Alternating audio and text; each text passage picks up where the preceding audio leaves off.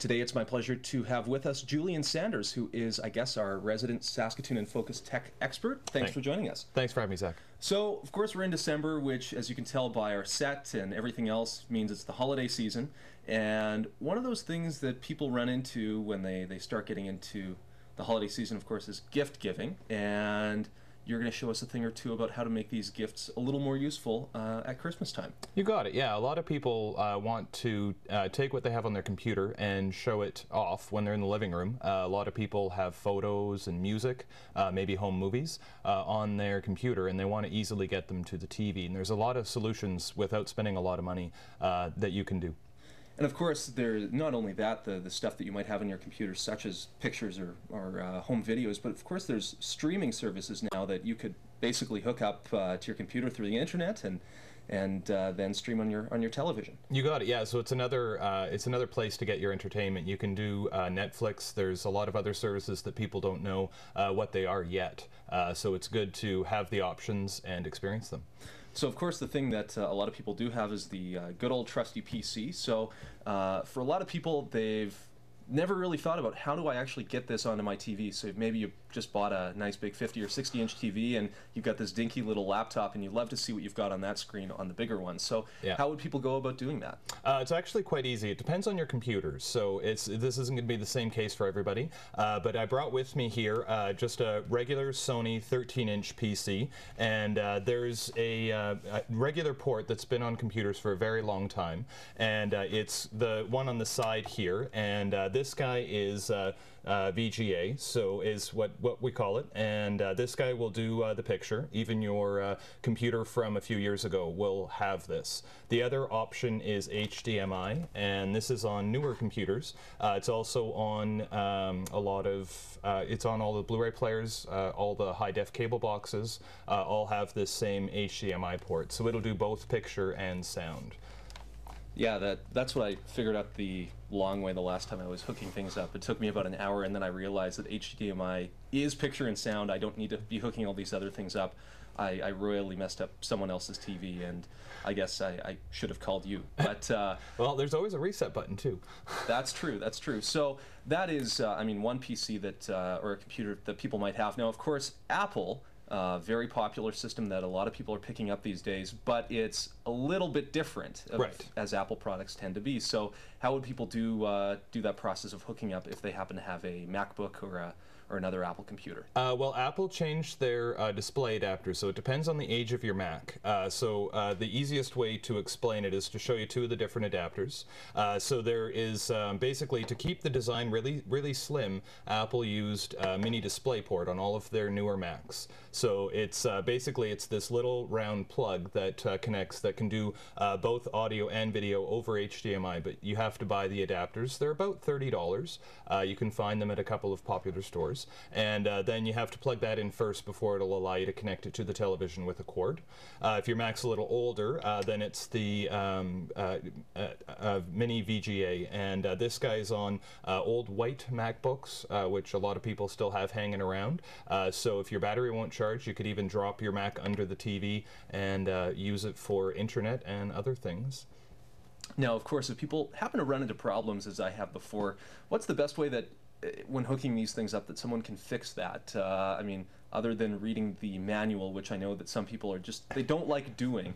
Uh, are there some good websites out there where people can get some tech, tech sorry tech advice or uh, Absolutely. find some other information? Uh, Apple support sites very easy. If you have a Mac, you can uh, quickly and easily see what your Mac's capable of. Uh, if you uh, don't know how to connect your laptop to the TV, uh, there's a website uh, that I frequently refer people to called WikiHow, and it's uh, basically a topical Wikipedia that's very quick and easy to pull up a subject. So just type in uh, laptop to TV, and it should come right up.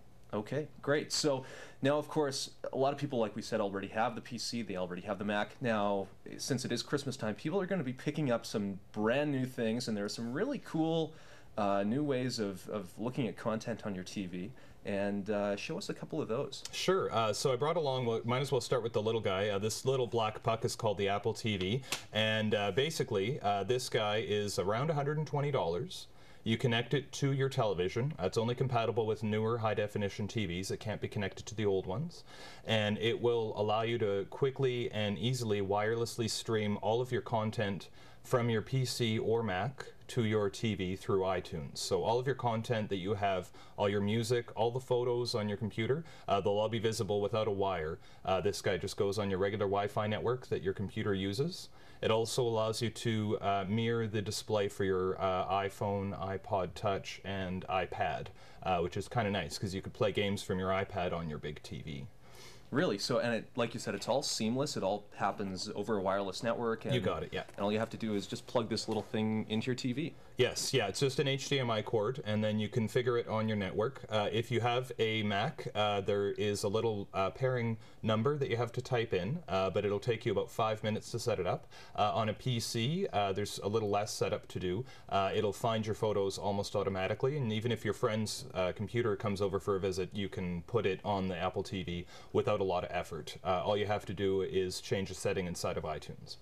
Okay, so that's not the only product out there that a person can use for uh, you know taking that content wirelessly. What are some of the other things that uh, exist? Uh, this guy here is a Boxee Box, and uh, it's made by D-Link. Uh, it's got a very uh, futuristic design, and uh, this is running a uh, different type of operating system. Uh, it's actually based on Android. It's been built from the ground up to be easier to use than the Apple TV or a computer. It's uh, actually outputting at full high resolution 1080p, whereas the Apple TV's top resolution 720p.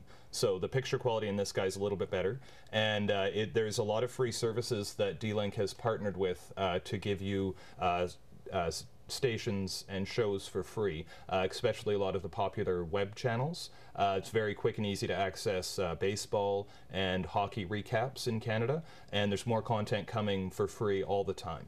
Of course, we're not recommending that people get rid of their cable, especially if they're watching Shaw. No, it's an on-demand alternative. Uh, But uh, there is other con- there is yeah. other content out there that people can use these products to uh, to get a hold of. So uh, these aren't the only things that you can use either. And I know you haven't brought some of the other options with you, but a lot of people have uh, things in their house already connected to their TV that allows them to uh, to actually connect up to their computer. Right. And what yeah. are those? Uh, the Xbox 360 and the PlayStation 3 are both uh, really uh, good alternatives to uh, plugging your computer directly in. If you go into WikiHow and search for whichever console you have uh, and the word streaming, you'll find very good instructions on how to uh, allow your computer's content to be seen without a lot of effort uh, through Windows Media Player. Great. Okay. So now I have to ask, as a tech expert, as someone who deals with uh, technology and things like this day in and day out, what's the most interesting experience that you've had dealing with someone who maybe um, was a little unsure of, of uh, the best way to go about using their, their product? Uh, well, we've had a lot of cases where people have come in and they've uh, purchased the wrong item. Uh, I had I had uh, one uh, um, little old lady, and she's my favorite stereotypical customer. Um, she comes into the store all the time, and she switched from PC to Mac. And she uh, kept getting a lot of hassle from uh, her relatives and her friends because she was trying to figure out how to connect it all uh, into her television and into her printer, and she wanted it all to talk together uh, easily. So she ended up uh, coming back to the store with uh, uh, three napkins and a photograph of uh, everything she owned. So we uh, we basically sat down and helped her with a little diagram of it. So she uh, she actually calls herself the uh, the little old lady with questions all the time. There you go. but you made it work. You made it happen, and hopefully people have uh, taken away uh, a, few good pointers about uh, things that they might be purchasing for Christmas, or or a couple of interesting ways to make sure that they can see that content on their TVs. So, thanks for coming in. That's all the time we have, Julian, and. Uh, Sure, we'll have you again in uh, here in uh, 2012. There are always more products coming out, and we appreciate hearing about them. Thanks for having me, Zach. Thanks.